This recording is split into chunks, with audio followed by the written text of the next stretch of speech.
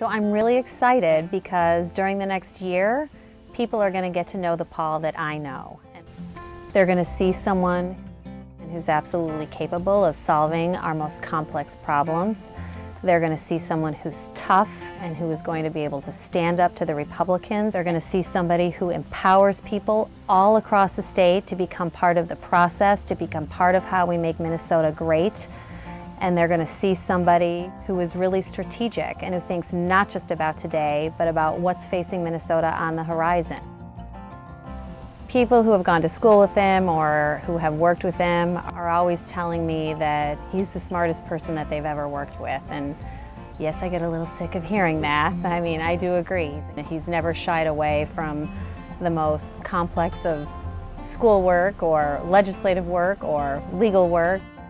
I have seen him with the healthcare budget. It dwarfs the budget for, like, say, the city of Minneapolis. I've seen him sit with it and figure out how it is he's going to cover 40,000 more kids because 40,000 more kids need, need health care and there wasn't a dollar more to spend on it. People really over, over and over again have said that they've never seen a politician who is such a good listener. And I think that's a great compliment. So Paul is definitely not a career politician. Paul was extremely happy with his law practice. He was very successful. He was doing a lot of community service, and that was always really important.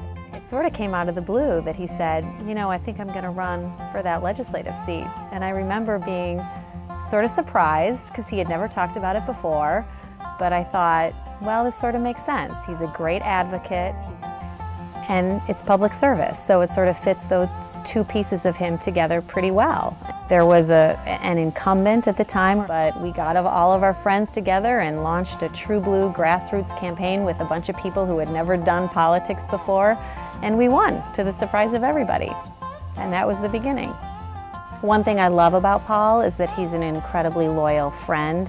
He has this group of friends here in Minnesota that he's been friends with since literally he was four or five years old. Same group of guys and they've been together forever through thick and through thin. But really, it's that kind of friendship um, that's very indicative of the kind of person that he is.